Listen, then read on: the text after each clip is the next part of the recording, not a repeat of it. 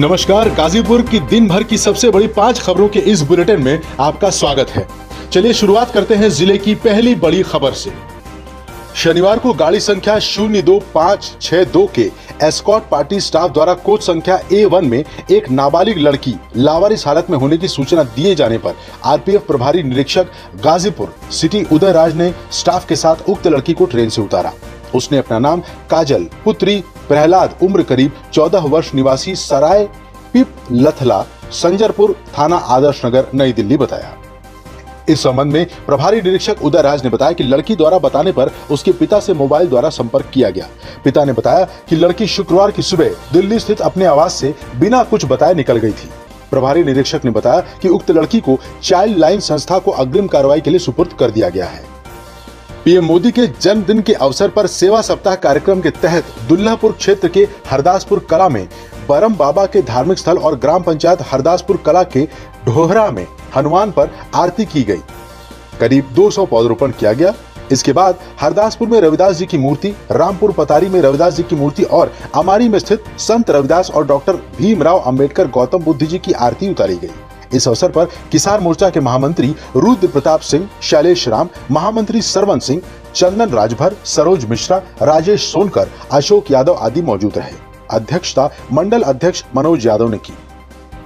विद्युत कर्मचारी संयुक्त संघर्ष समिति उत्तर प्रदेश के आह्वान पर बिजली के निजीकरण के विरोध में शनिवार को भी जनपद में उपखंड स्तर पर नौ स्थानों पर शाम चार से पाँच बजे तक विरोध सभा आयोजित कर विरोध प्रदर्शन किया गया। इस मौके पर अधीक्षण अभियंता कार्यालय परिसर में आयोजित सभा के निजीकरण के प्रस्ताव पर गहरा आक्रोश व्यक्त करते हुए जिला संयोजक निर्भय नारायण सिंह ने कहा कि केंद्र एवं प्रदेश सरकार ऊर्जा सेक्टर को निजी घराने को बेचकर इकट्ठे मुनाफा कमाने के चक्कर में पड़ी हुई है। उसका इरादा भारी भरकम कमीशन खाने का भी है। इस अवसर पर खंडीय अध्यक्ष सैदपुर अनुराग सिंह सहायक अभियंता शत्रुघ्न यादव, अमित कुमार, अभिषेक राय, मिठाई लाल, सुरेश, सत्यनारायण चौरसिया, अवर अभियंता संतोष मौर्य, अविनाश सिंह आदि उपस्थित रहे। करंडा पुलिस ने शनिवार की सुबह दीनापुर चट्टी से करीब 300 मीटर आगे जमनिया मार्ग पर सुपरवाइजर को गोली मारने वाले आरोपी को गिरफ़्तार कर लिया। इस संबंध में थाना प्रभारी निरीक्षक अजय कुमार पांडे ने बताया कि बीते गोरखपुर के रहने वाले प्राइवेट कंपनी के सुपरवाइजर उपेंद्र मौर्य कुचोरा में किराना के मकान में रहता था। अब्दुल रहमान उर्फ़ गब्बर द्वारा गोली मारकर उसे घायल कर दिया गया था।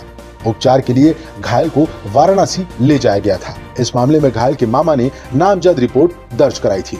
लगातार आरोपी की तलाश की जा रही थी। इसी क्रम में आज सुबह मुखबिर की सूचना पर दीनापुर चट्टी से लगभग 300 मीटर की दूरी पर आरोपी को गिरफ़्तार कर लिया गया।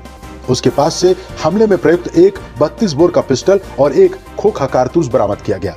बताया गया कि संबंधित धाराओं में अभियुक्त अब्दुल रहमान का चालान कर जेल भेज दिया गया है। गिरफ़्तार करने वाली टीम में उप निरीक्षक राम बाबू सिंह, कांस्टेबल नागेंद्र कुमार, कांस्टेबल संजय पाल और कांस्टेबल प्रमोद कुमार शामिल थे। जिलाधिकारी मंगला प्रसाद सिंह और पुलिस अधीक्षक डॉक्टर ओम प्रकाश सिंह ने शनिवार को थाना दिवस पर बरेसर, कासिमाबाद और नोनहरा थाना पहुँचे। दोनों अधिकारियों ने फरियादियों की फरियाद सुनते हुए संबंधितों को आवश्यक दिशा निर्देश दिए। बरेसर थाना परिसर में मंदिर के जीर्णोद्धार तथा आगंतुक कक्ष का फीता काटकर उद्घाटन किया गया। एसपी ने बरेसर थाना अध्यक्ष को निर्देश दिया कि कानून व्यवस्था को चुस्त दुरुस्त बनाए रखें। यहाँ आने वाले पीड़ितों के साथ अच्छा व्यवहार करें। दोनों पक्षों की बात सुनी जाए, इसके बाद जिलाधिकारी तथा पुलिस अधीक्षक ने थाना परिसर में रख रखाव और सफ़ाई को देखकर थाने के पुलिस कर्मियों की पीठ भी थपथपाई। साफ़ सफ़ाई देख थानाध्यक्ष संजय कुमार मिश्र की तारीफ़ की।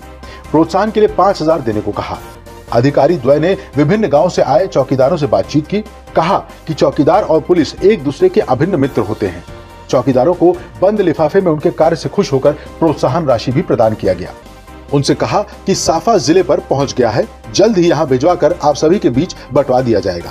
इस मौके पर क्षेत्राधिकारी विनय गौतम से भी पुलिस अधीक्षक ने कानून व्यवस्था को लेकर गुफ्तगू की। एसपी ने कासिमाबाद थाना भी निरीक्षण किया।